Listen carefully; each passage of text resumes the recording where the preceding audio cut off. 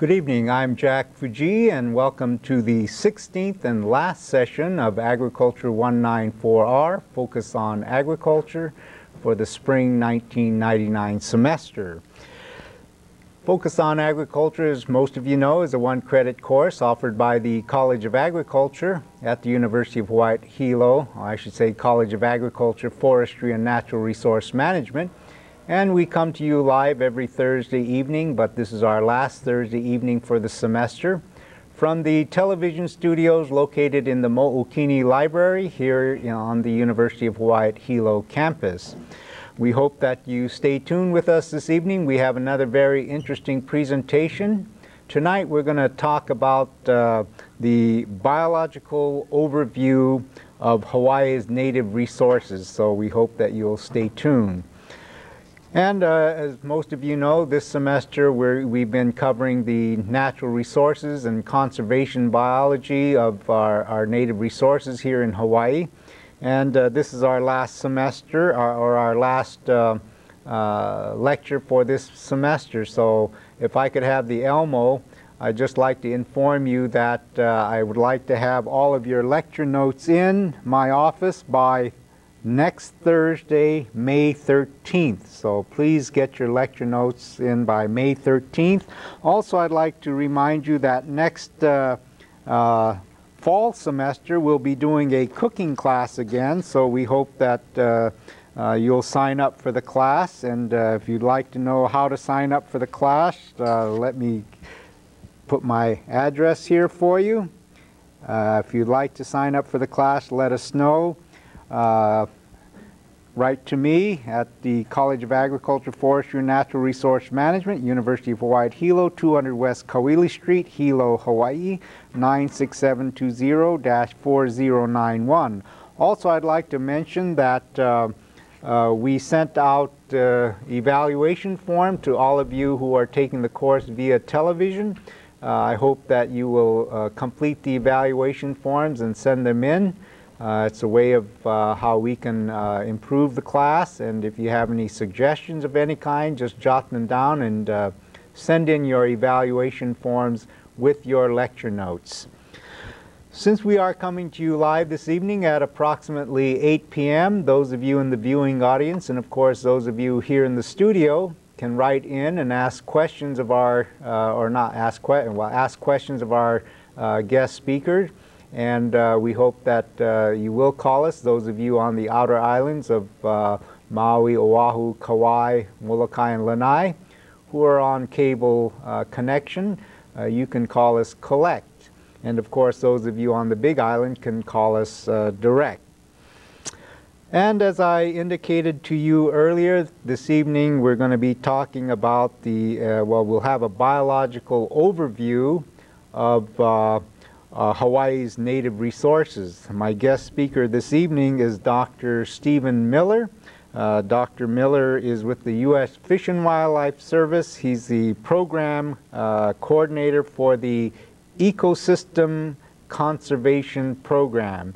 Uh, Dr. Miller received his PhD in zoology from the University of Hawaii at Manoa, and he's been in this uh, conservation ecology area in the state of Hawaii for the past 19 years, so he has a lot of experience, and he's been with the U.S. Fish and Wildlife Service for the last six, uh, uh, six years. So uh, Steve brings with him a lot of uh, information on uh, our native resources. So at this time, it gives me great pleasure to introduce to you uh, Dr. Miller. So Steve, why don't you come on over and take over the class? Thank you. Well, in, in the next hour, I want to try and present to all of you a review of the, the, the state of the, of the native resources that we find here in the Hawaiian Islands when we take a look at, uh, at, at, what's out there. Um, I'm going to sort of approach this from the perspective of, of Hawaii's ecosystems and, and what, those, what those ecosystems um, contain. Um, in doing so, I'm going to talk about sort of three major areas of, of, of uh, ecosystem management. Um, those three areas that you have to look at when you look at ecosystems are the first is scale. You have to get a sense of the, uh, of the scale, the geographic areas, the landscapes that are required in order to begin to manage native ecosystems. Um, another aspect of, of managing native ecosystems that you need to be concerned about, of course, is diversity, the, the range and depth and diversity of plants and animals that live in these ecosystems. And when managing, you have to adjust your management to embrace the, the, the largest number of uh, plants and animals that you can hope to cover in a given landscape. And the third aspect of, of ecosystem management, which I'm really not going to discuss much tonight, has to do with process. And of course, those are the processes that allow ecosystems to function. And those would include things like pollination or competition among animals, competition among plants. Predation is another example of the good process. The dispersal of individuals or, or seeds or propagules throughout the ecosystem in order to maintain healthy and viable populations is another process. And of course, things like nutrient cycling, the, the breakdown of food products and, and how those products get recycled back into the ecosystem. So obviously process is a, is a big and complex issue and, and um, we're not going to have time to really begin to address those processes. So we'll focus mainly then on, the, on questions of scale and questions of diversity. And I'm going to start off with diversity and sort of go through a, a quick series of uh, slides and discussion to give you a feel for the, for the uh, biological diversity that we have here in the Hawaiian Islands. Um, I think I'll start off with the first slide, please. This slide is um, an overview of, uh, and it's a satellite image of the Hawaiian Islands, and you can see that uh, the, the islands are basically aligned in a chain with a windward and a leeward side. And, uh, and th this particular alignment has resulted from volcanic activity that has formed the islands, uh, and they sit on a tectonic plate then that moves along, creating a chain of islands. And the windward leeward side, of course, is related to the position of the islands on the globe. The trade winds impact the windward side and create a very moist condition there as the as the, as the trade winds move across the islands, they become drier, and so the leeward sides of the islands tend to, tend to be a good deal drier. And this, of course, creates quite a diversity of habitats from, from uh, windward to leeward, especially when you consider we have high islands here in Hawaii that reach quite high elevations. And so you have a, a, a, very large elevation gradient as well that creates even greater diversity, habitat diversity. Um, this shot is of the Big Island, and I just wanted to use it to emphasize these sort of uh, windward-leeward trends that you see here. Um, again, from the upper right is the trade winds impact the islands and, uh, and create quite a bit of precipitation and rainfall. And, uh, and then, of course, on the, as they pass over Mauna Kea and Mauna Loa, much of that rainfall is lost. And the central part of the island is, it tends to be rather dry. And uh, of course, the leeward side on, off to the left is, uh, is, is, a much drier coastline as well. So we get, uh, again, quite a range of, of weather conditions and geological conditions that lead us to, uh, to a, a, a, diversity of habitat types. Um, The geology of the Hawaiians, Hawaiian Islands, of course, is of volcanic origin. This is a photograph of Pu'u'o'o taken at night um, here on the Big Island, and you can see that it can become quite active and, uh, and produce quite, uh, quite dramatic uh, volcanic displays. Um, the lava flows, of course, are the basis of the Hawaiian Islands. This is a lava tube system that can transport lava quite long distances down to form whole new coastlines. And uh, it doesn't just have to occur as terrestrial flows, although terrestrial flows are very common. And in this shot, um, this is again on the Big Island showing the uh, large areas that can be covered by lava flow systems and leaving little, little patches of forest called kipukas isolated within the lava flows. And these kipukas can serve as points of isolation for populations of animals and can in fact encourage diversification of the, of the plants and animals that we see here in the Hawaiian Islands. Um, the weather, of course, again, is a, is a major issue, and here again is a, a different shot of the Big Island showing windward and, and, and leeward, leeward areas. Um, I think I'm going to go over to the overheads now and, uh, and let you uh, sort of focus on those. These, um, this shot is just a, a, sort of a mapped projection then of, uh,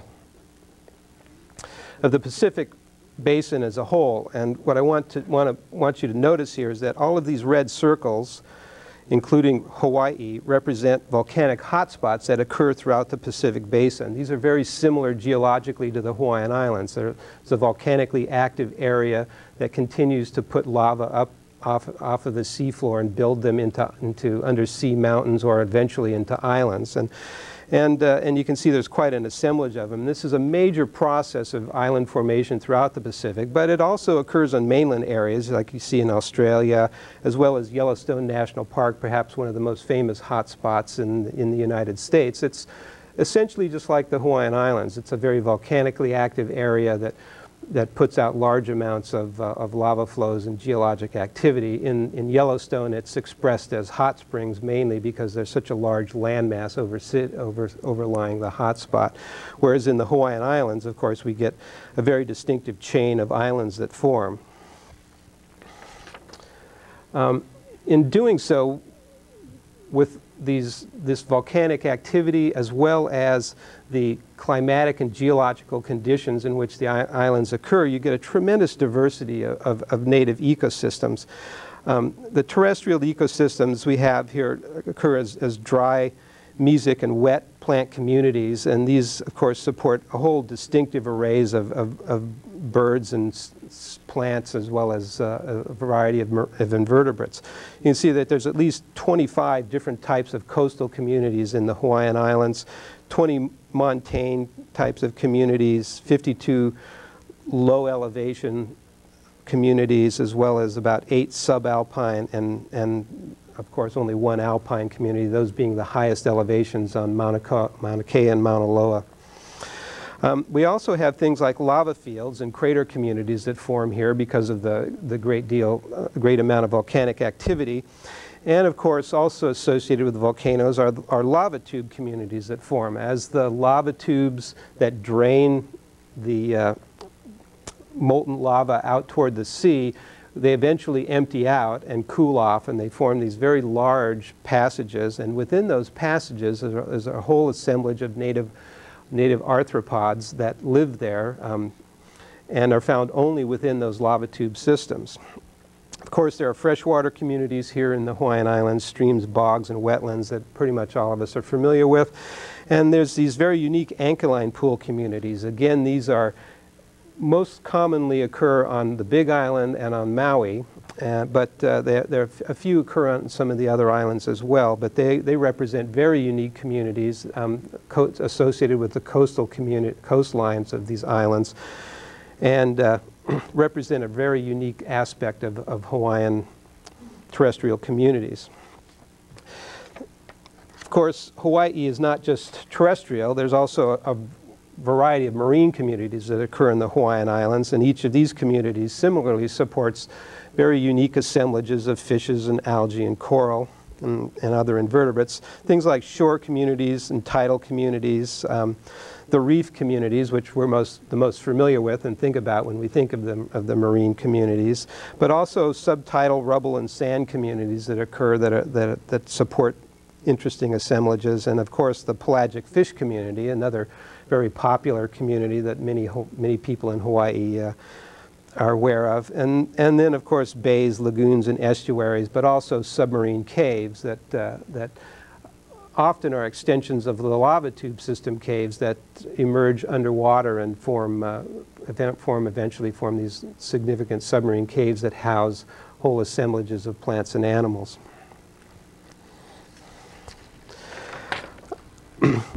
Before I go on, I think I'm going to go back to the slides and just give you sort of a quick overview of some of the plants and animals that uh, occur in the Hawaiian Islands.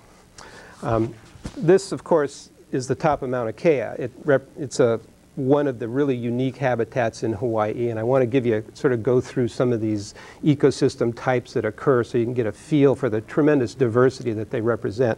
It's a very barren, snow-covered in the winter, um, you know, exposed rock in the, in, the, in, the, in the summer seasons. Quite a unique habitat for a, for a tropical setting, um, and uh, of course can be very, very cold up there.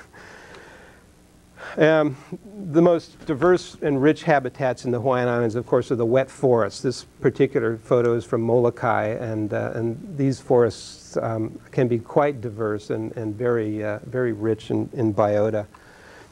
In contrast, you get dry forest areas. This happens to be on the Big Island at Pu'uwa'awa'a.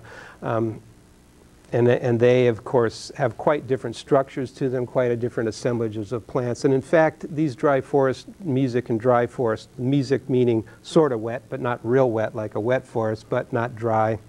So it's sort of in between dry and wet. And those mesic forest settings were in fact some of the most diverse settings in the Hawaiian Islands. Uh, there's, there's wetland areas. This is on Oahu, um, Marsh. And of course, up in the mountains, you get little bog settings like this. Uh, this again is on Oahu, but there's some very, very elaborate bogs on Molokai and Kauai, uh, extensive bog systems with whole assemblages of plants and, and invertebrates that uh, tend to be associated only with those bog systems. Of course, there's stream systems that occur throughout the Hawaiian Islands and, uh, and probably are elaborated. They're greatest on Kauai, which is, of course, is the oldest of the main islands and has an extensive system of streams, as we'll see later on.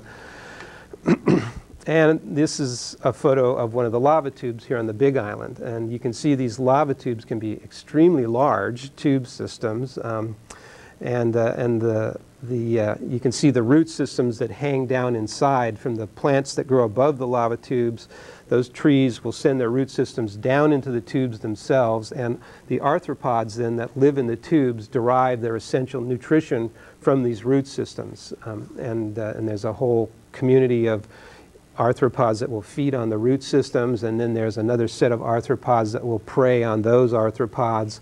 And uh, so you build, a, a again, a, a hierarchy, a, a, food chain within these lava tube systems that allow them to, to, to sustain themselves.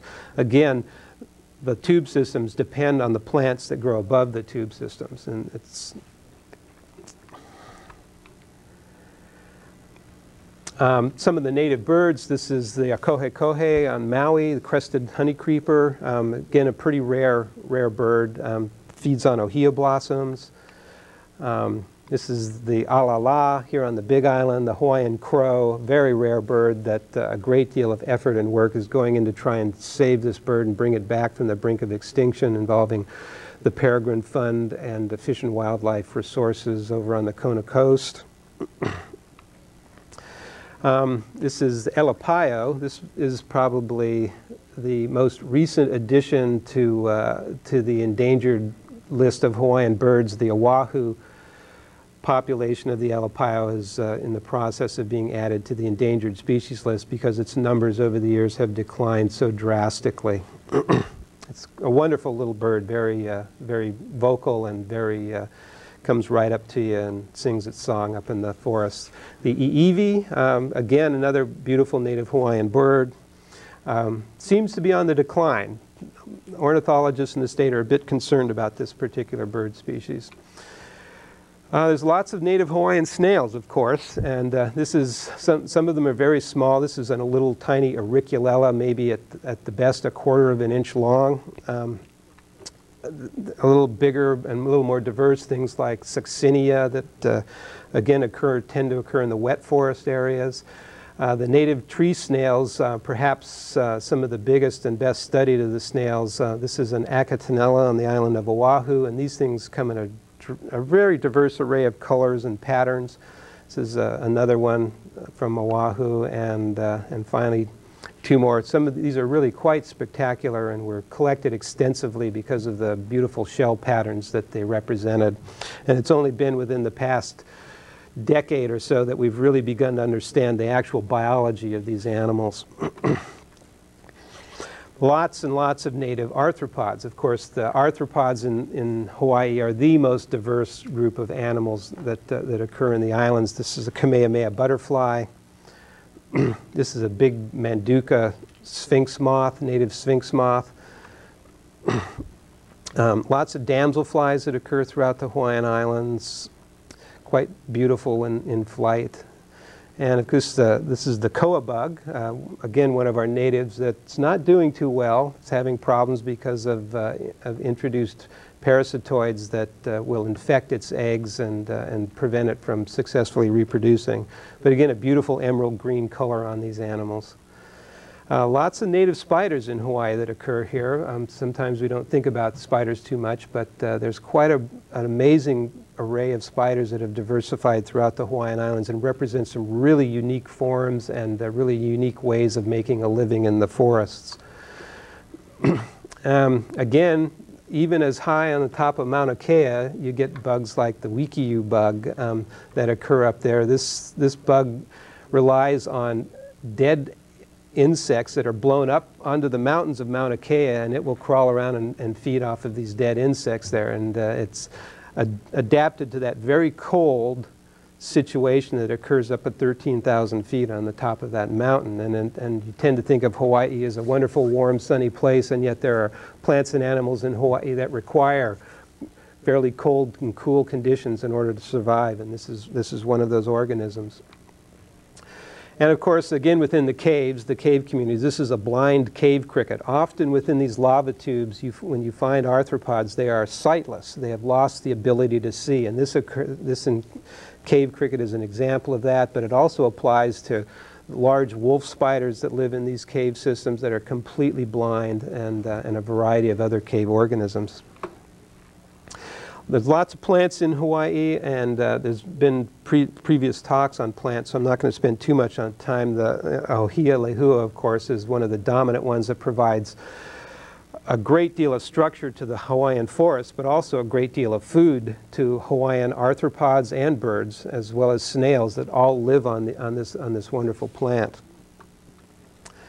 Um, things like kokia that are just absolutely spectacular, and again, a, a, a, rare and endangered plant here in Hawaii, a dryland forest tree that produced this magnificent blossom. And unfortunately, it's it was pollinated by a bird, and that bird is extinct. And so this plant consequently has no pollinator anymore, and its populations have been declining and declining, and it's in pretty bad shape. There's native things like native mints that are quite unique. Native begonias, these are things you tend to think of in mainland ter terms, lots of begonias and mints, but in fact we have our own unique species here in the Hawaiian Islands. And uh, of course our own native geraniums, quite beautiful plants that, uh, that uh, are very unique. And of course things that are just absolutely spectacular, found nowhere else on earth, things like uh, the, the, the silver swords that occur here. The marine communities, of course, are not quite as unique, but very robust and diverse. Um, lots of large coral communities that occur here in Hawaii, extensive reef flat systems that occur throughout the Pacific. This happens to be in, in, in Rose Atoll down in, in, uh, in, the vicinity of American Samoa. Um, but uh, you can get similar sorts of uh, atoll systems up in the northwest Hawaiian Islands that are just beautiful and extremely rich and abundant. And, and and also, of course, the marine system is composed of lagoon systems. This one is on the island of Tutuila in American Samoa, but uh, again, these large lagoon systems uh, typically have occurred in the Hawaiian Islands.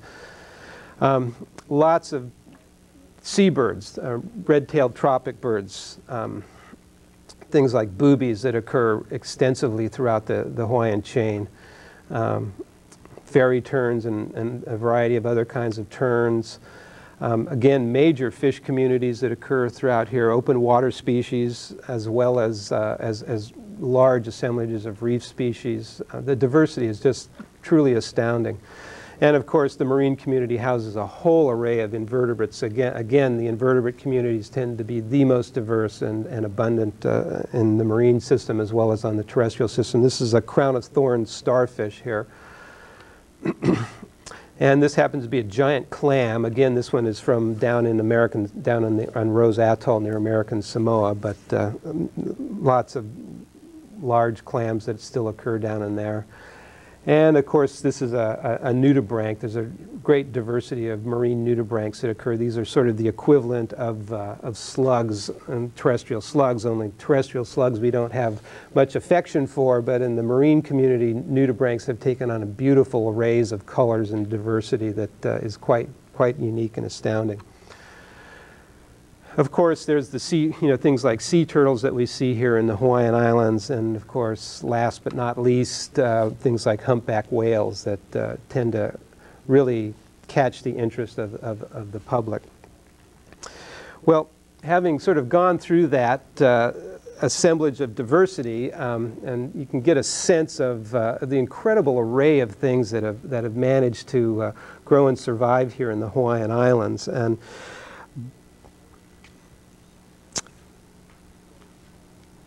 And just as a sort of a summary of, the, of that, I want to talk a bit about endemism in the Hawaiian Islands. So I'm going to go back to the, uh, to the overheads.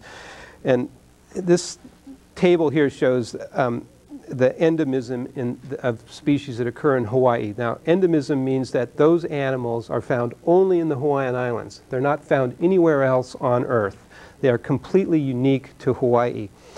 And you can see the terrestrial biota, the plants and animals that live on the lands here in Hawaii, 96% of them are found only in Hawaii. You can't find these organisms anywhere else throughout the Pacific, no matter where you go. Interestingly enough, 74% of those are found only on a single island. So most of what you see in Hawaii is unique to the island that you live on. Um, they are found only on the Big Island, or they're found only on Kauai, or only on Oahu. Wherever island you go to, the vast majority, almost three quarters of those plants and animals that are native to those islands will be unique to that island. This is very important in terms of thinking about conservation of native biodiversity because it's, you can't simply protect a part of one island for the native biota and say, okay, that's good for all the islands because the plants and animals change from island to island. Again, just breaking it down for, into birds, snails, plants, and arthropods. You can see arthropods are the, by far and away the most abundant thing here. Um, birds that we tend to focus on the most actually represent the smallest number of species in the Hawaiian Islands. But in all cases, these are all highly endemic to the Hawaiian Islands, and in all cases, very, very, uh, very, very much limited to single islands in the Hawaiian Islands. If you look at the marine biota, of course, it's, it's a bit different. Again, it's very diverse, has lots and lots of species composed of it, but not too much of it is endemic to the Hawaiian Islands. And, and that's because marine organisms can move quite easily through the water. They produce, often produce very small um, dispersal stages that can drift very long distances, and so consequently they're not just limited to the Hawaiian Islands. You can find the same species in, in places like American Samoa or Johnston Atoll or, or other, more, other more distant locations. And of course, none of them are single island endemics. You can what you find on the Big Island in terms of the marine marine organisms, chances are you'll find the same thing on, on, on other islands throughout the Hawaiian chain. So it's a, it's a good deal. This is probably one of the major differences between the marine biota and the terrestrial biota in the Hawaiian Islands. Of course, all of this diversity is really nice, but doesn't mean that everything's really great, of course. In fact, we have lots of threats to, uh, to the Hawaiian Islands. Um, the major threats to the marine communities, of course, are things like the impacts to fish, you know, fisheries impacts, where you get overfishing taking place, or, or incidental bycatch. So when a fishing, fisherman goes out, he's after a certain species, but he'll get other things as well in, in, in, the catch, and those things then are often just discarded because they're of no economic interest. But in fact, they may, may represent ecologically important species, and so you can begin to, you, you have to be sensitive to those ecological situations when, uh, when, you, when you pursue these things um, commercial, at a commercial level. Abandoning fish gear, of course, this is you know a, a, bad thing for things like seals and turtles and birds. They can get entangled in these, and it creates problems. And in some parts of uh, the Pacific, you get, you know, bleach and explosives are used to, uh, you know, as, as a way to collect fish really quickly and simply, and they actually kill everything else and really, really are, are, are a great harm to the reef communities. Alien species, of course, are, are, are a big problem. Um, reef siltation that can bury reefs. If you go to Molokai, you'll see a, a, a, an example of this that is, that is extensive, where the reef systems off of Molokai have been smothered by siltation. And of course, those are by, caused, unfortunately, by the ungulates, the goats, mainly the goats and sheep that occur in the uplands areas where they uh, degrade the forest cover to the point that the, the, the, land surface begins to erode and washes down into these reef systems and, and silts them up.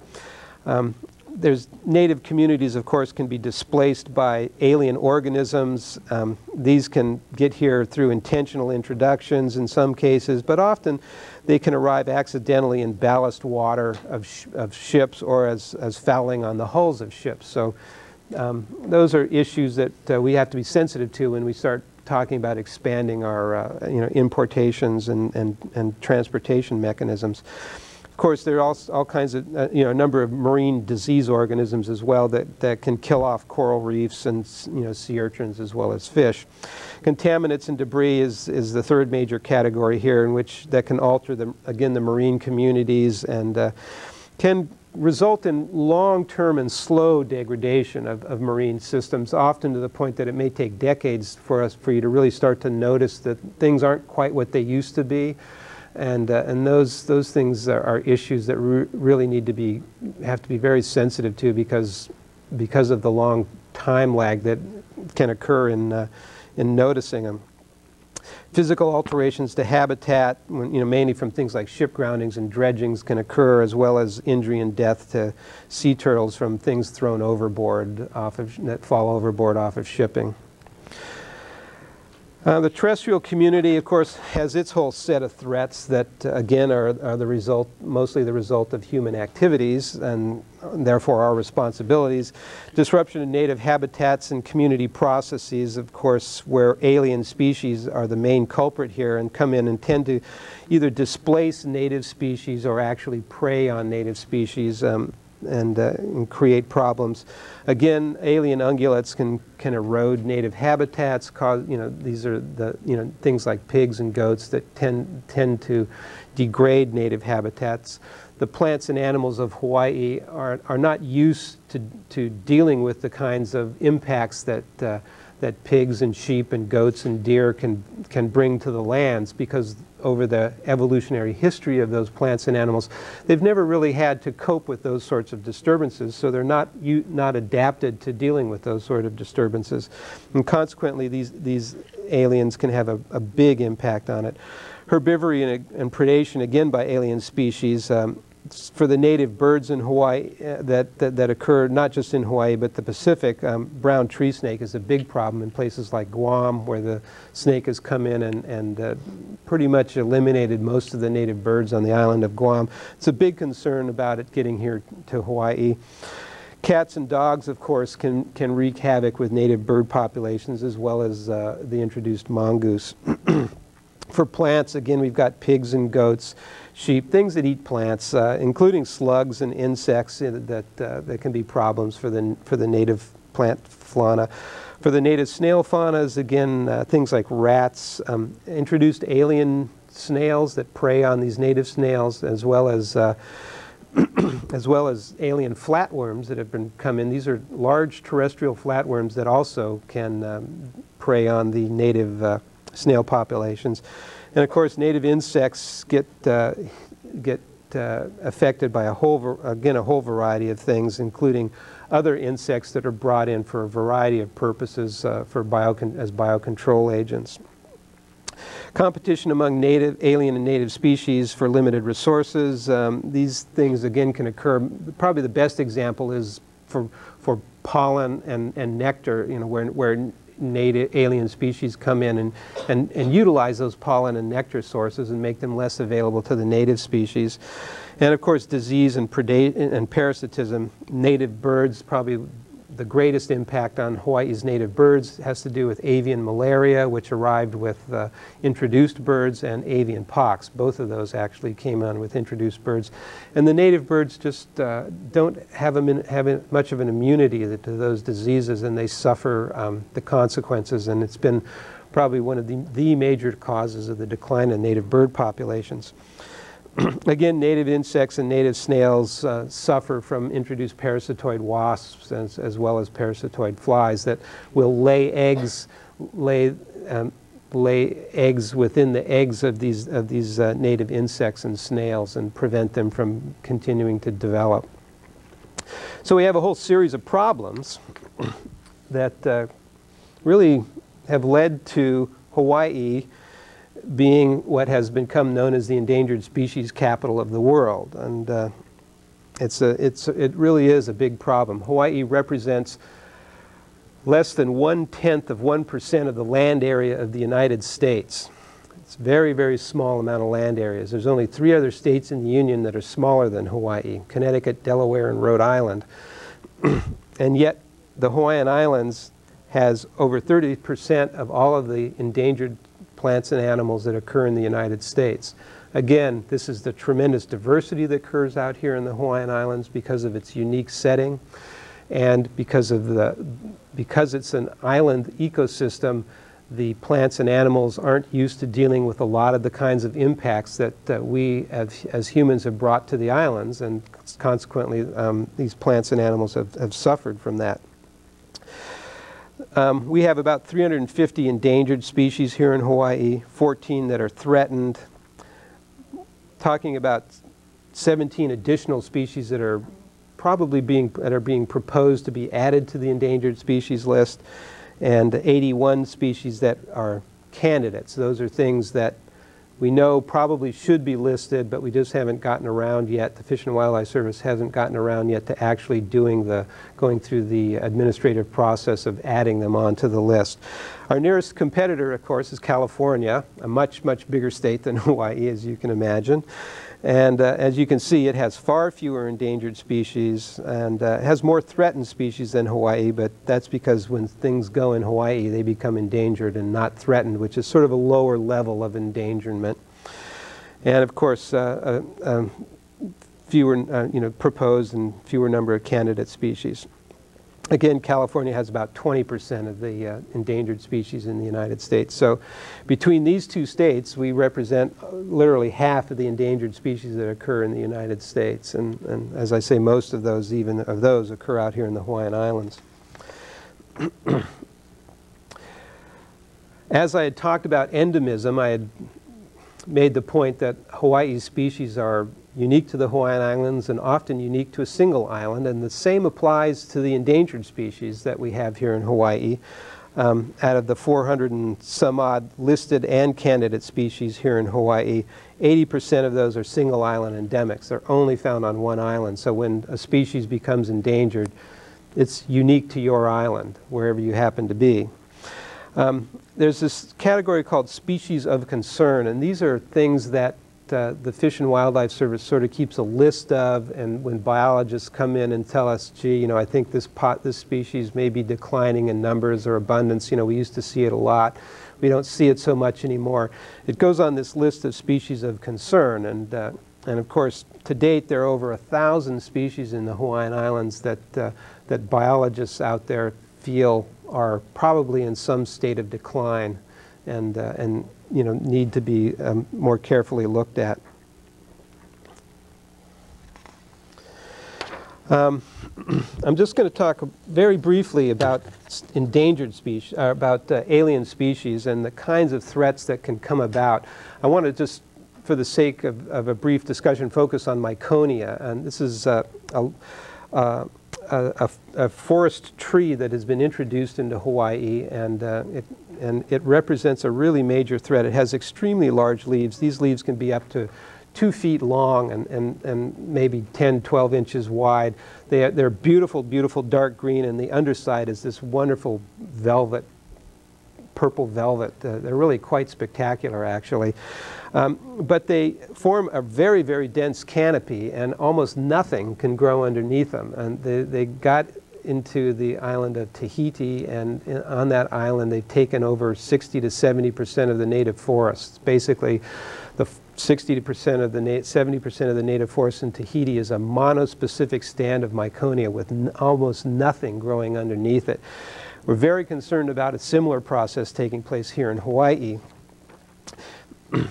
this particular figure shows is a, is a projection of what might happen. Okay, this doesn't show what is, but what might be. So for each of these islands, each of the, these four islands, you can see I, I have outlined the range that Miconia could potentially expand into. And this is work done by, uh, by uh, some of the biologists up at Haleakala National Park.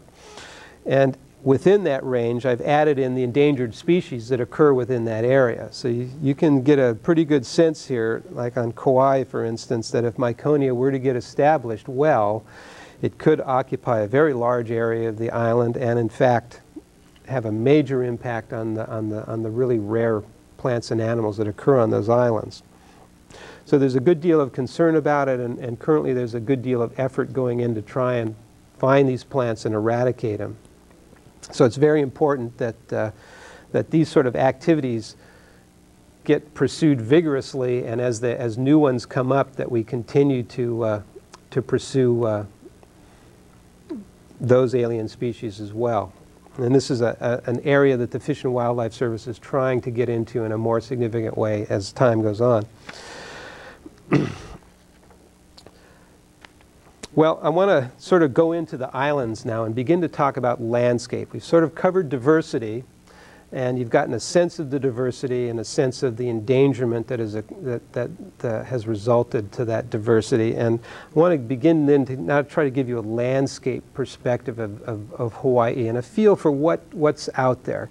I'm going to start with the island of Kauai and sort of work down the chain to the Big Island. Um, Kauai is the oldest of the main islands, and as you can see, it's, it has a lot of surface feature to it. It's highly eroded with lots of valleys and, and, uh, and wetland areas, extensive stream systems that occur in all of these valleys, um, a large um, swamp system, Alakai, that sits on top here. There's, a, again, a really unique assemblage of plants and animals that are associated with that swamp system. And when, here we go, let me start with this.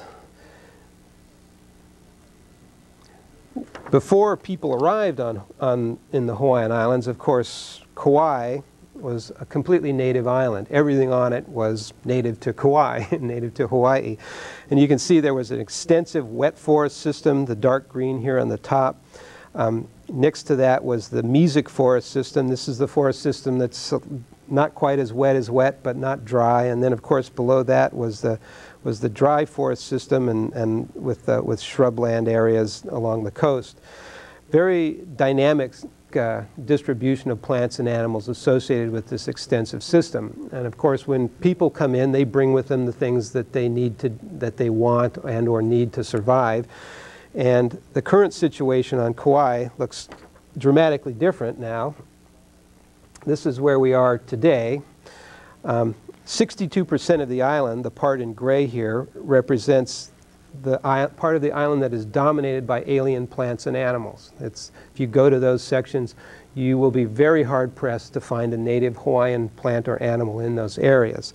Um, again, the upper wet forest on Kauai is still in pretty decent shape. It's, uh, it's still hanging on up there. It has some, some problems and difficulties, but it's okay. The, the uh, forest, the lighter green, has been significantly impacted, and of course the low elevation dryland forest is almost entirely gone on the island. So um, you can see that these sorts of changes, the changes that have taken place over time and why biologists are, are pretty concerned about these areas that are left and, and what we want to, what needs to be done to hang on to them.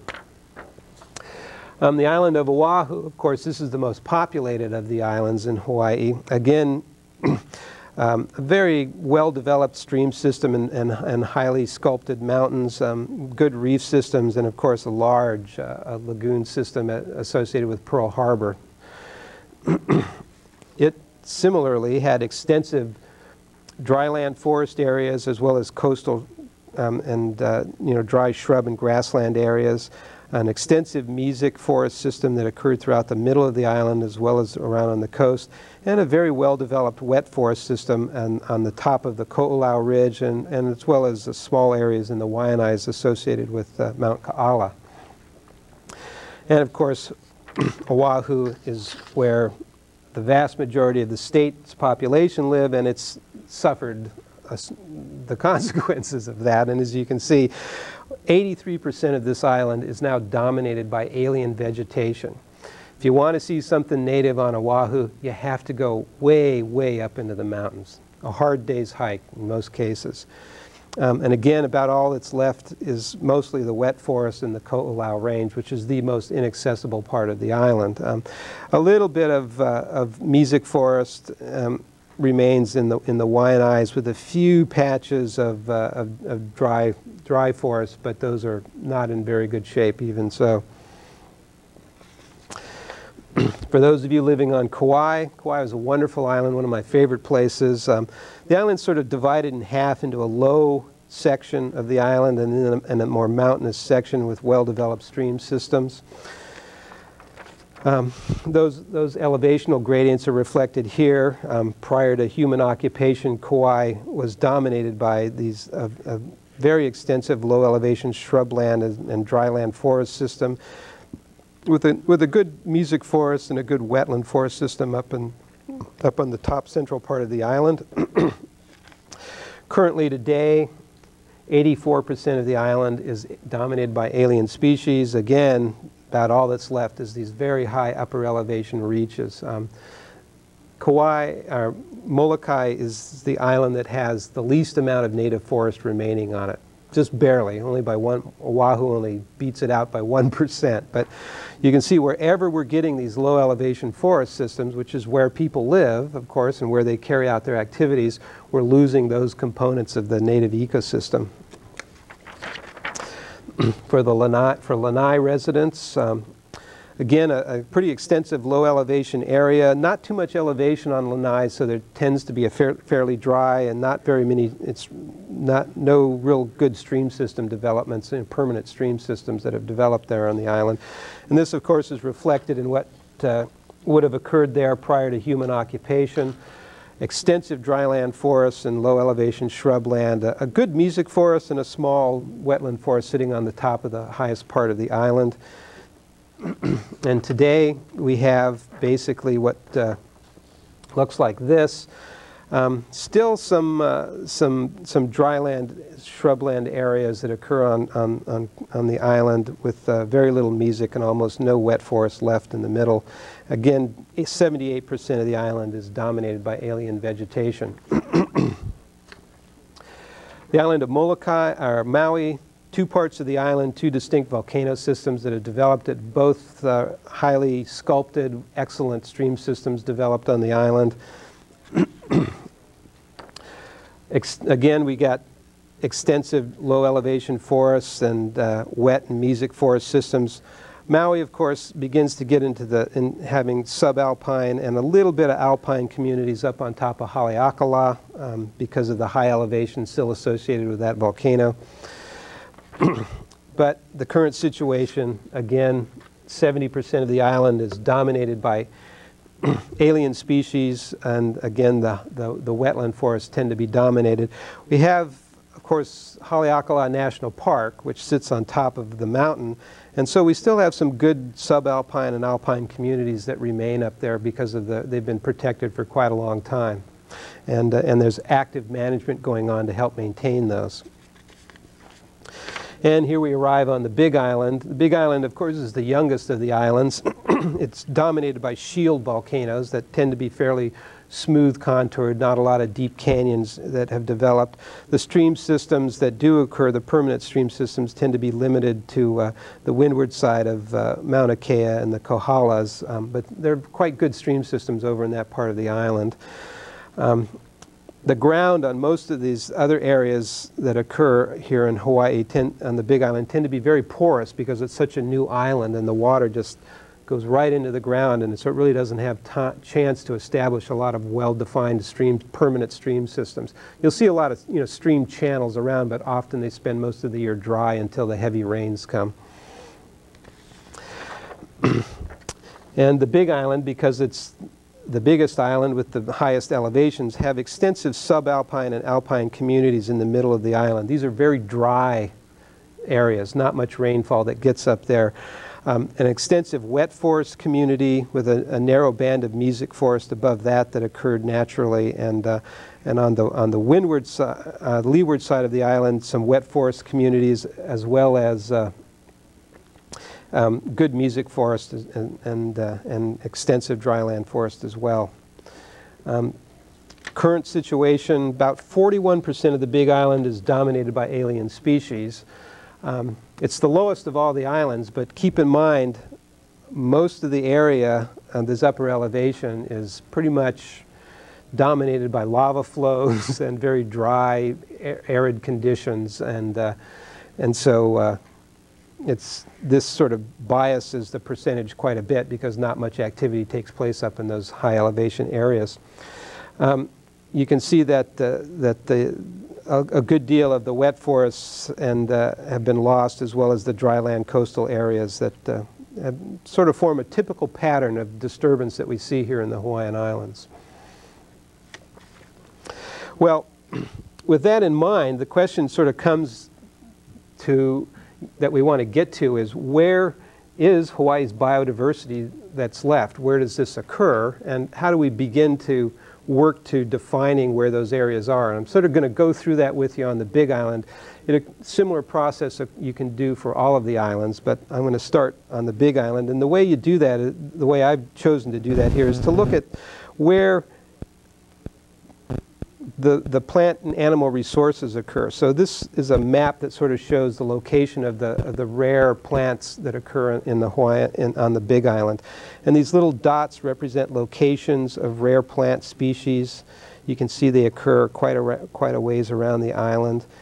Um, the red lines begin to encompass those dots to sort of say this is an important area for native Hawaiian plants. Um, the blue lines that you see here are areas that really haven't been surveyed well enough for us to know whether or not there's important Hawaiian plant species associated with those areas. So you can begin to start to, to get a sense of uh, the location of these plants. You know, they tend to start to fall into these wet and mesic forest areas, some, act, some, some concentrations up in the dry forest areas, as well as up in the Kohala Mountains you can, if you continue on, you can take, do a similar thing and look at the, the, the Hawaiian forest birds. Where do, you, where do you find Hawaiian forest birds on the Big Island? Um, again, the dots represent locations of where forest birds have been seen. You, you tend to see these large clusters that, is, again, tend to be associated with these wet and mesic forest areas. Some high elevation areas like where, where Palila occur up on Mauna Kea. Um, so you can begin to build another layer then of, of rare forest birds. Um, you can look at things like the coastal organisms that occur in Hawaii, the anchialine pool species that occur around the coast, as well as things like Hawaiian monk seal, where sightings have occurred for Hawaiian monk seals, um, where the best anchialine pool systems occur in, in, in, on the Big Island. And uh, you know, and, and again, where the perennial stream systems occur, and which of those perennial streams are really in good shape, and which of them are tend to be more degraded. So, you know, and, and, and that sort of helps you begin to sort out where the where the important resources are that remain in the Hawaiian Islands. Where do those where do those actually occur? Um, additional things like Hawaiian hoary bat um, is another example of, uh, of, again, the squares here represent locations of hoary bats. The, the area that in red here is, is important forest bird habitat, and you can see, sort of get a sense of whether or not important forest bird habitat does much for the Hawaiian hoary bat. And the bats tend to be scattered around quite a bit, so it really doesn't correlate very well with the location of Hawaiian hoary bats. Um, similar thing for, for water birds and seabirds. Here we have uh, a whole assemblage of, of, uh, of, of seabirds. Uh, a lot of these orange dots up here are, are nene. Um, The seabirds are the dark blue. You can begin to get a sense. Our seabird data is not very good, so it's, we really don't have a really good sense of where a lot of the Hawaiian seabirds actually nest on the islands. We know in some cases it's quite high at quite high elevations, and, it can, and they can nest all the way down through the native forests down to much lower elevations as well. Not what you typically think of when you think of seabirds. You tend to think of them on the beach or just up off the beach. But in fact, they use quite high elevation forest systems. Well, if you do that and sort of lump all those dots together, you start to get clusters of dots. And so what I've done here is, is done that, and these clusters show up as red dots. And I've then basically just encompassed them with a line just for convenience, just to give you a sense of where those dots are, because dots get a bit irritating to look at. So you can see where the red locations are where rare and endangered species occur. The blue locations are also rare and endangered species, but these things are sort of falling outside of these major clusters of things. It's not, doesn't mean that they're not important and we don't really need to pay attention to them anymore, but it's just saying that they aren't occupying a large landscape that we can try and deal with as a landscape issue. Um, if you do the same thing on Maui, for instance, you get these biodiversity areas that sort of fall out, three major areas. Um, again, one associated with Haleakala National Park. And those are the major, and these areas often are associated with the, with the remaining native forest systems that occur on the islands as well. Um, Lanai, basically Lanai Hale tends to be the dominant area where you see lots of rare native things still showing up. On Molokai, uh, again, it's, uh, there's actually two locations. Molokai has some very unique coastal um, communities that still seem to be fairly intact and, and, uh, and, are, and are well worth uh, a focus for, to, to, for conservation. Um, but again, you know, the high elevation forest areas tend to be the areas, you know, where, where native stuff is left and so where you're finding lots of native things still.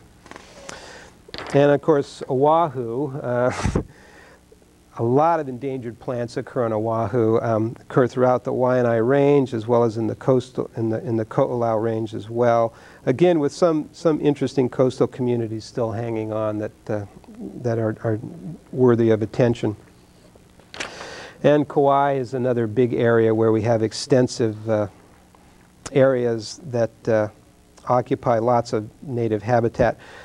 Um, again, there's a, there's a really unique cave system down here, the Koloa lava tube system on Kauai. It's very unusual to find lava tube systems on these older islands because they usually silt in.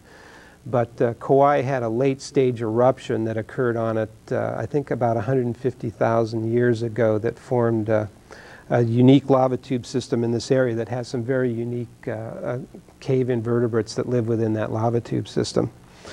But again, you can see these large areas where biodiversity still remains fairly strong. Of course, lots and lots and lots of observations of rare plants and animals that fall without, outside that area, but are hard to begin to sort of assemble together. Well, the next issue, of course, is once you identify these landscapes, who do you need to go to to talk to about the conservation of those landscapes? Who owns that who owns the land, basically. It's a major important question. And there are sort of, a, there's a few major landowners in, in Hawaii. The state, of course, is a large landowner. They own quite extensive pieces of land. The Department of Hawaiian Homelands has some fairly large tracts of land. Um, County lands tend to be very small, not very, very much county land is held by the counties. Um, private landowners own very large tracts of land, and of course the federal government in some cases has large areas and on some islands and almost nothing on other islands. So on the big island, for, for instance, pardon?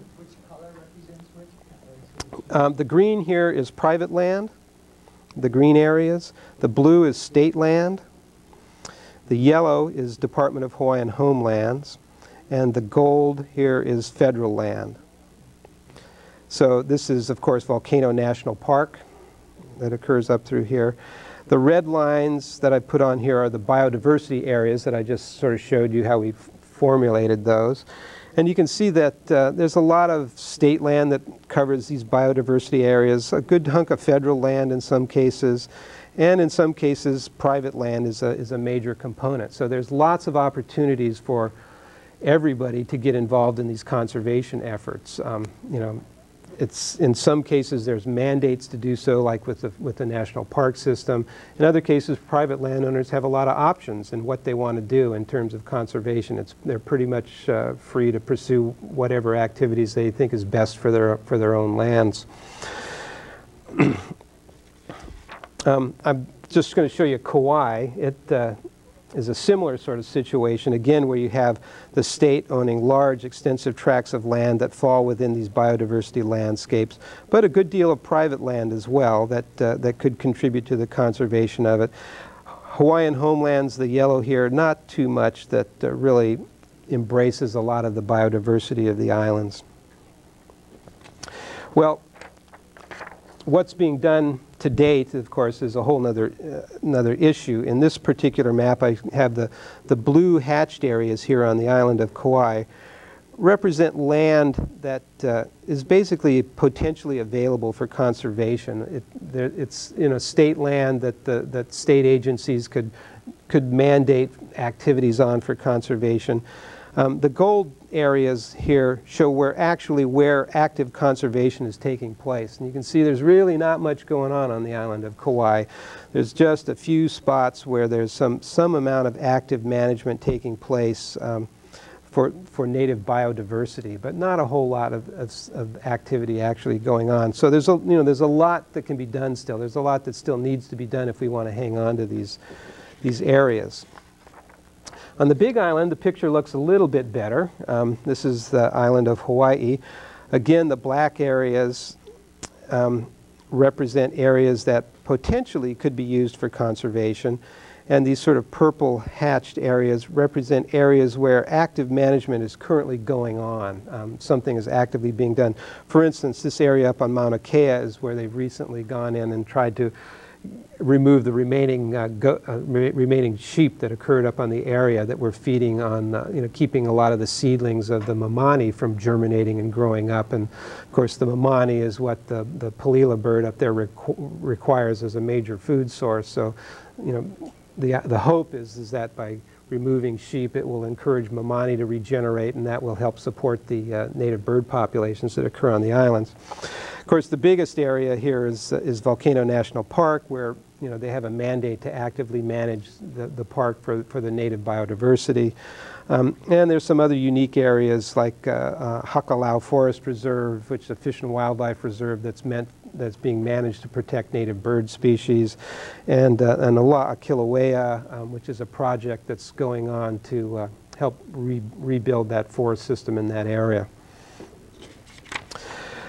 Um, sort of finally, I just briefly want to talk about some of the one, you know, there's lots of issues that come up in, when, when you start talking about conserving land. You know, what's, what is the land there for? What is it to be used for? And how do you set priorities in determining what that land is to be used for? Well, it's a controversial issue, obviously, and, uh, and the state has tried to deal with it in, in several ways. Um, let me give you an idea of some of the complications that arise here just in terms of, of zoning. These, these purple areas that uh, I've outlined on this on the Big Island map here represent land that is zoned for protection, conservation's, the conservation sub, subzone that's called protected.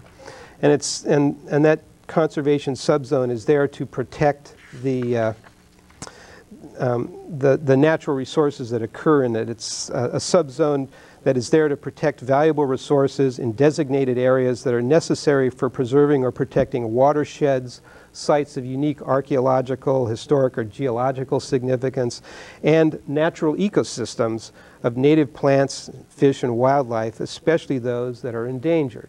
So the state has recognized the need for land areas, lands, large landscape areas to protect these ecosystems and have designated them. Um, the black areas on this map represent areas that are, that are designated for game hunting activities, game mammal hunting, um, to support the recreational and, and, sus and, sus and, and, and, sus and sustained yield for, for hunting for, for, for the people on, on the Big Island. Um, the gold areas represent areas where the, the conser protected conservation subzone and the game mammal hunting areas overlap. So they represent sort of a, a, a potential conflict in, in usage of the land. Um, game mammals tend to be very harmful to the native plants and animals of Hawaii. The plants and animals never evolved in the presence of large ungulates, pigs, goats, deer, and sheep, and they don't handle the disturbances that those animals produce at all. They suffer very badly from it. So, the, so you run into these problems then. How do we balance the conservation needs of Hawaii, protecting its native endangered species, with the resource needs that Hawaii has? In this, in this particular example, the game hunting activities that people want to pursue. It's a difficult issue, and uh, and one that there's no simple solution for.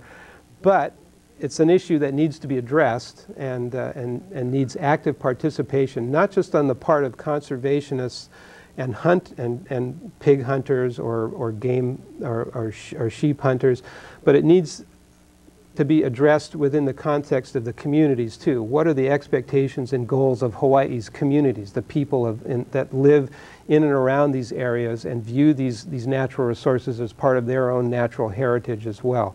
What do they want to see Hawaii look like 50 years from now or 100 years from now? Are we going to see continual movement of alien species up into these areas? Or are we really going to try and, and, and stop this process and, uh, and come to grips with a very complicated issue that, that extends beyond biology, beyond ecology, and gets into the, into the, into the social and ethical issues that, uh, that uh, Hawaii needs to really begin to address as a society. That's pretty much, I think, uh, it's going to conclude my talk. Okay, well, thank you very much, uh, Steve, for a very uh, excellent overview of uh, our uh, biological uh, overview of our Hawaiian natural resources. And uh, I think your presentation uh, gives a pretty good uh, uh, overview of what we've been talking about the entire semester. And so we come to the portion of the class where those of you in the viewing audience, and of course those of you here in the studio, can call in and ask questions of our guest speaker. Uh, this evening we have with us uh, Dr. Stephen uh, Miller. He's with the U.S. Fish and Wildlife Service, and he's a program director for uh, ecosystem conservation uh, program within the U.S. Fish and Wildlife Service here in the state of Hawaii. And of course, he gave a, an excellent overview of what we've been talking about the entire semester.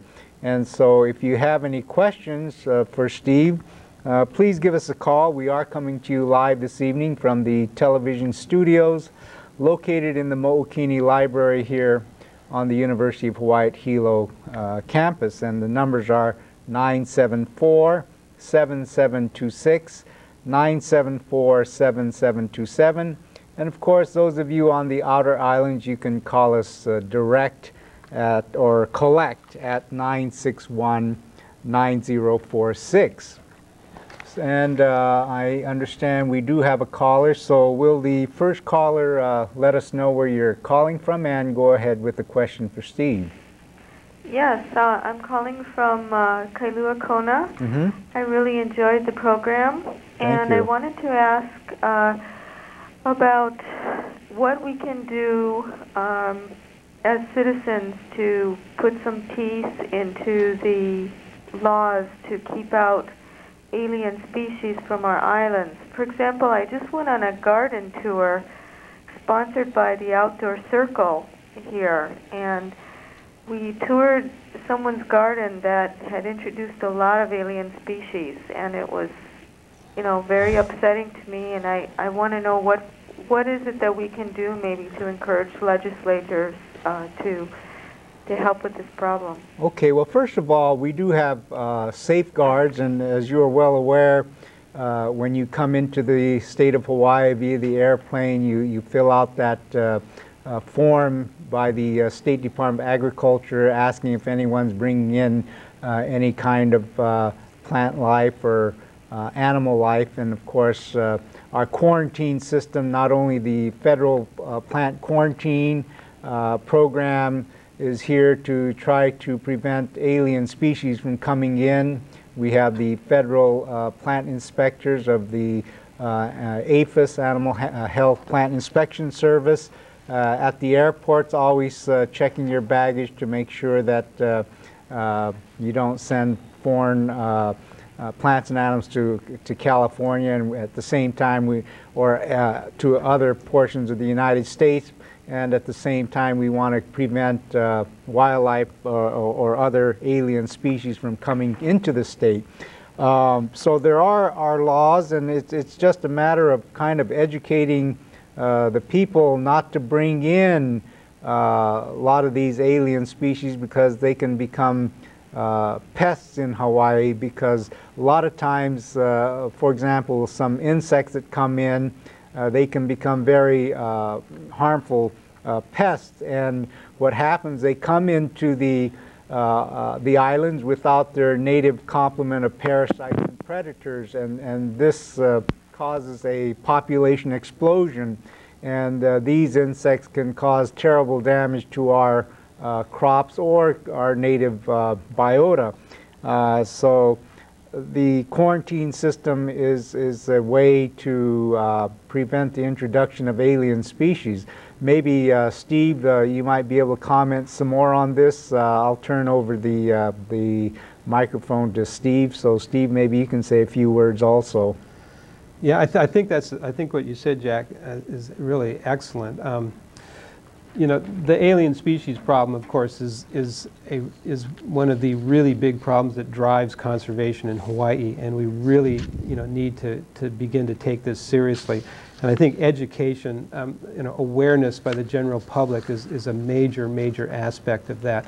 Um, you know, we need to put together major outreach programs that begin to, you know, go around to the Hawaiian communities and really make them aware of the of, of how these alien species affect you know, the native plants and animals and, uh, and let them know that, uh, that, you know, that they, they, really have to be careful with, with what, they, what they bring in and how they treat it when, when they you know, put it out in their yards or in their gardens or wherever it happens to be.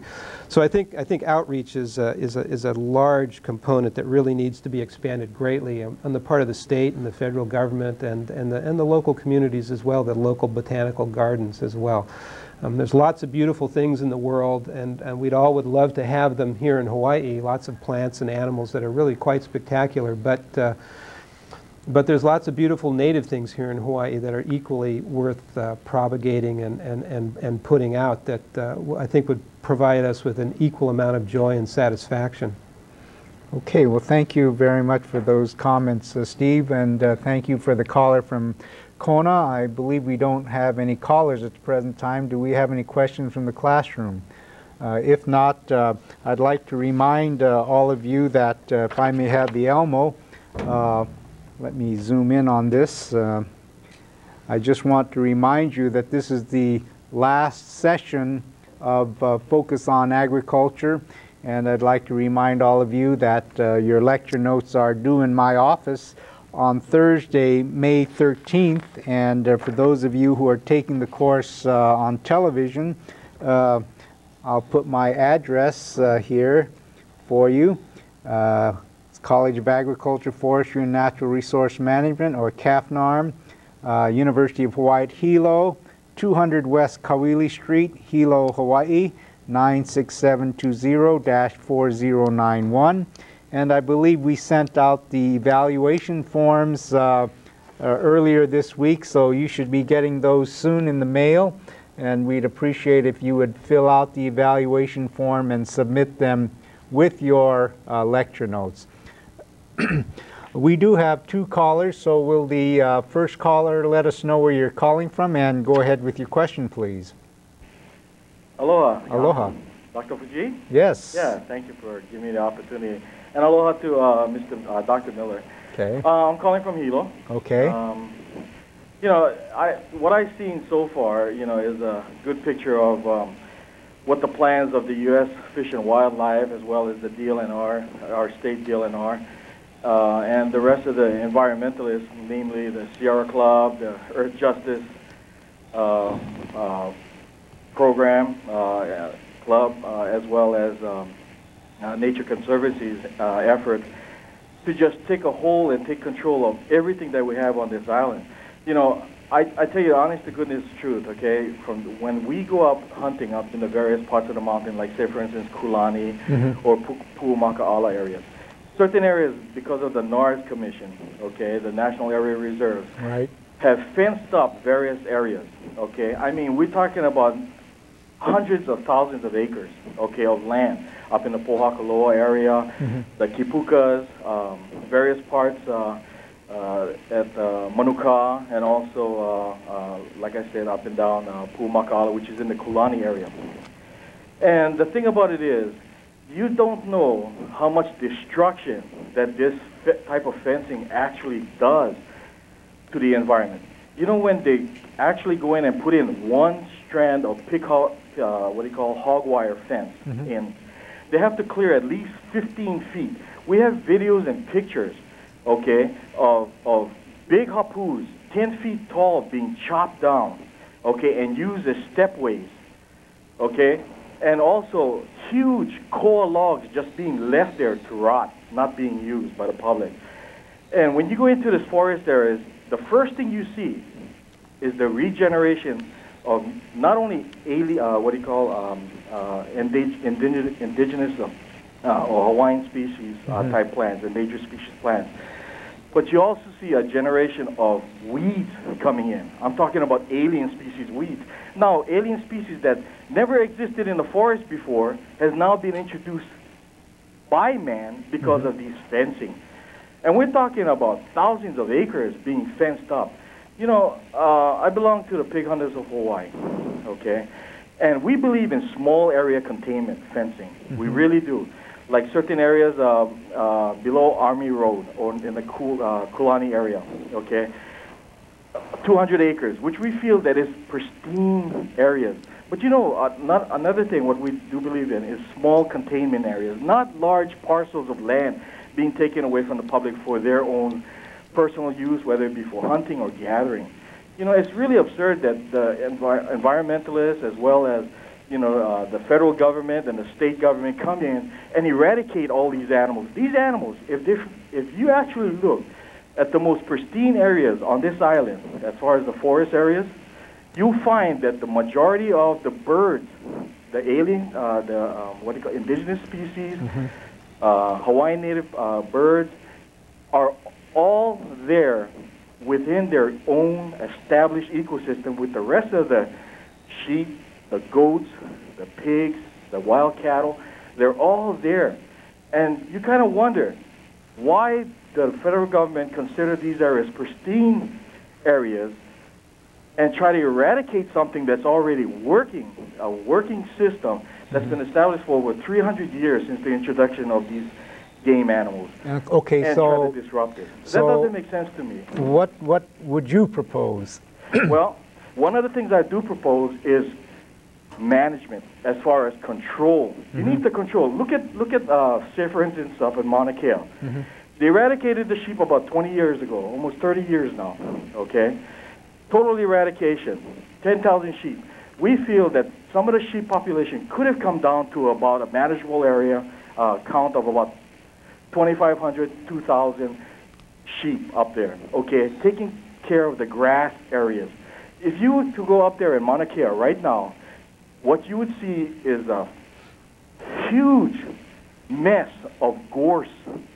Yes. It's this sticky plant, okay? Right. This plant has got thorns. It's worse than kiawe. Mm-hmm. You can't go through it, right. okay?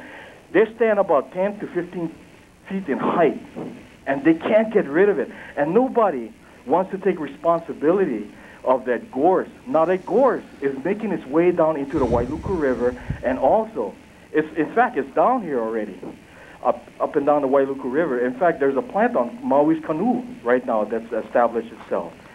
You know, how much more, uh, who's going to take responsibility for all of this? We're talking about thousands and thousands of acres. What we need to do is put back some of these animals so that, and, and clear whatever gorse that's it, that's up there and stuff like that, and leave the animals in there to manage the soil.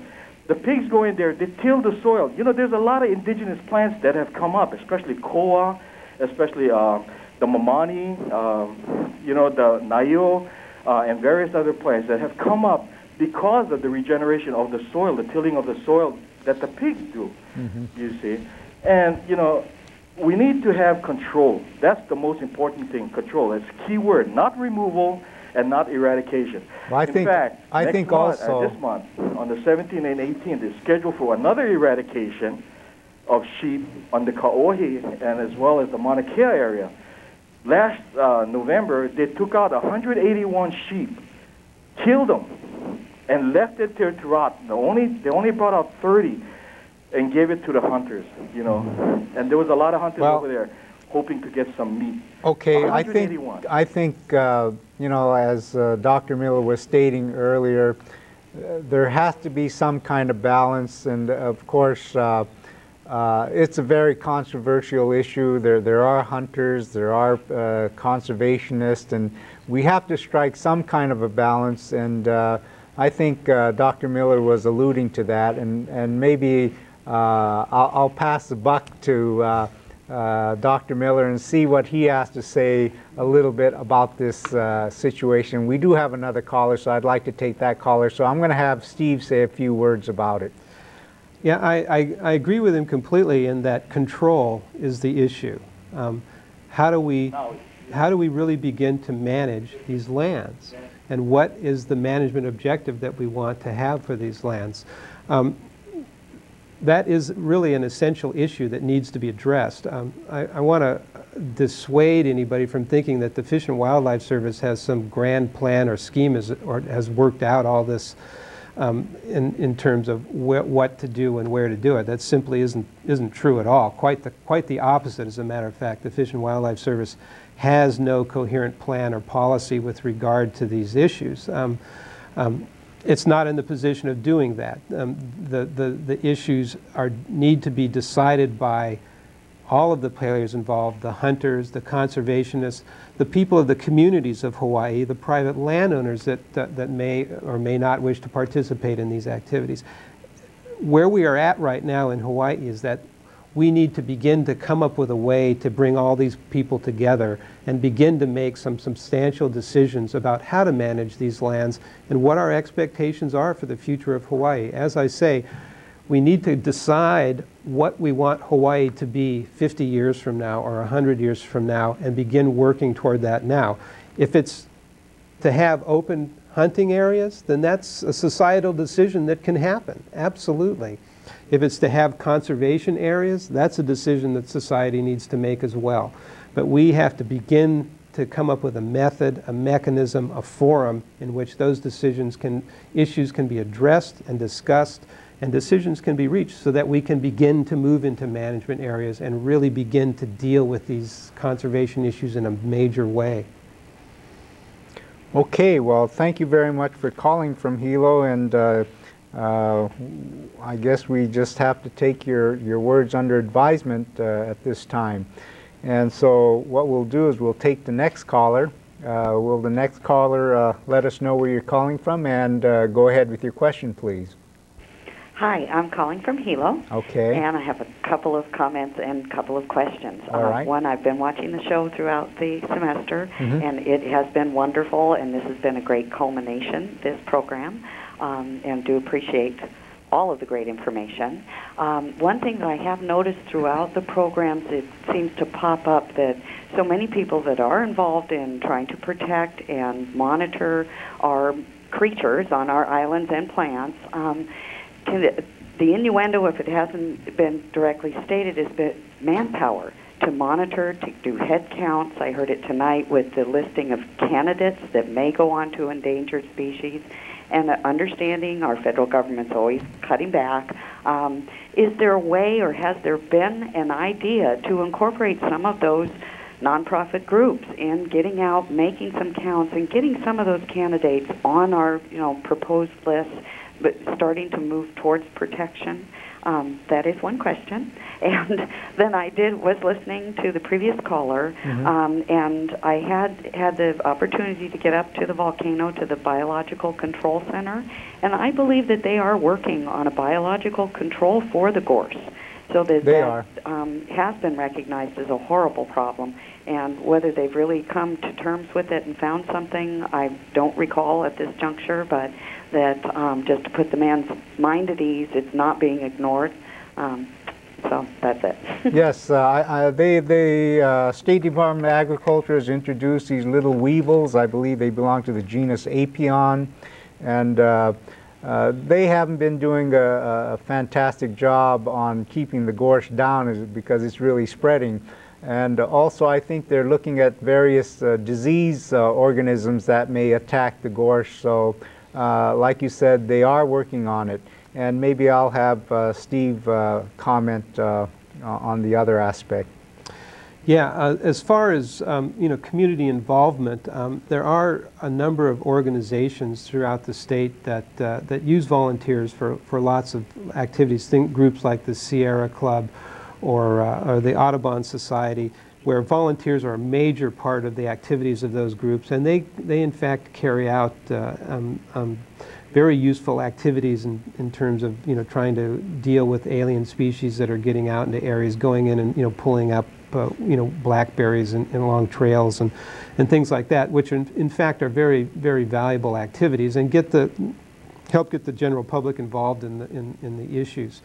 Um, I think, I think there needs to be more done, obviously. As I say, the, the outreach aspect of, of, of Hawaii's, of, of getting the public to understand the current situation in Hawaii and, and, and what uh, you know, people think need to be done to try and, and, and stem the tide is a, is a very important issue. And uh, uh, I, I, I'm somewhat redundant here, and as I keep coming back to this theme of needing to get community involvement in an organized, coherent fashion where, where the opinions and objectives of, of the citizens of the state can really be, be made you know, clearly expressed and brought, and brought to bear on this problem. Okay. Uh, while we're uh, waiting for uh, other callers, I, I'd just like to say a few words of thanks to uh, the UH Manoa uh, HITS people out there. Uh, we have Roy Liu, who is in charge over there in Honolulu. We had about eight sessions of our Focus on Agriculture classes coming from the television studios located in the Kuykendall Hall, second floor on the UH Manoa campus, and I'd like to really thank all the crew over there for uh, assisting us in uh, getting our focus on agriculture class uh, through this semester. And uh, especially to uh, again Roy Liu for helping us out. And of course uh, this evening we are coming to you live from Hilo here UH Hilo campus. And we have with us Dr. Steve Miller. And we're talking about a, a, biological overview of our natural resources and uh, Dr. Miller just kind of gave a, a, capstone overview of what we've been talking about the entire semester. We hope that uh, we were able to let you know about our uh, environment here in Hawaii uh, with all our native uh, endangered uh, flora and fauna. And um, so I, just so long as you found out through Focus on Ag this semester that uh, we do have a lot of endangered species and uh, we have a unique uh, ecosystem here in Hawaii. Uh, we also respect the uh, hunters and, and everything and as Steve had indicated, we have to kind of get together and uh, find a point where we can all live together and work together uh, in this state and because Hawaii is an island situation, uh, land is very precious and uh, of course we cannot afford to have a lot of these alien species coming in and, and taking over our unique ecosystem. And uh, I guess we have about one minute uh, to go. Uh, I just want to remind you that the lecture notes are due on the 13th, next Thursday. We sent out the um, evaluation forms. We hope that uh, you'll fill the evaluation forms out and uh, send them in with your uh, notes. Uh, as I said again, you don't have to rewrite your notes. Your handwritten notes are fine for me. Uh, and so Uh, again, I'd like to thank you for watching Focus on Agriculture this past semester. It was a pleasure presenting the class to you. We hope that you'll join us next fall when we'll have a cooking class. So this is Jack Fujii saying thank you very much for watching and good evening.